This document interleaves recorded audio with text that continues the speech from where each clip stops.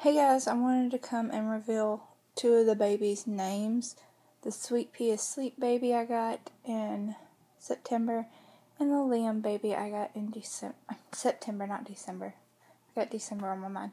Anyways, so this is the Liam kit by Joanna Kay. I can't pronounce her last name, but you remember back in September I got her. I received her. I think it was September 17th or maybe it was September 18th.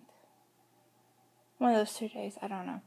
Anyways, that's when I received her, and um, I went through a bunch of names with her, and so far the only name that stuck is the one I'm about to tell you. I may decide to change her name later down the road, but for right now, I'm going to call her Willow. That's the name that's so far stuck out of all the names I've liked. And uh, I'm sorry for the lighting in this video. It's just too cold to go outside.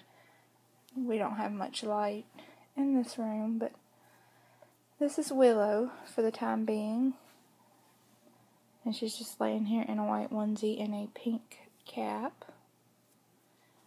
So I'm going to get to the Sweet Pea Asleep baby in just a moment. Alright, and this is the Sweet Pea Asleep baby. And I received this baby September, I can't remember. Not quite sure of the date. I'll have to look at that later. But, anyways, the 1st of September.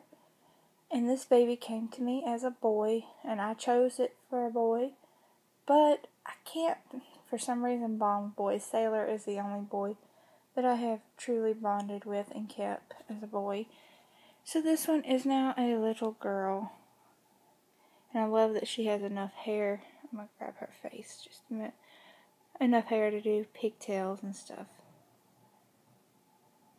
So, this little one is a girl, and she has a name, and I've named her for the time being Elowen, I think Avery. I think that's what I decided. Elowen Avery for the time being, unless I change it.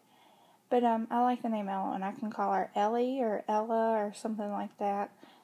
So she's got a few nickname options. But uh, I just wanted to announce their names because it's been a long. I've had them for a long time, and I should have announced it a, long time ago. But anyway, so this is Elowen or Ellie or Ella, whatever I decide on, and that's Willow. So I just got thanks for watching, and um, I guess it's about time I decided to release their names. Bye, guys.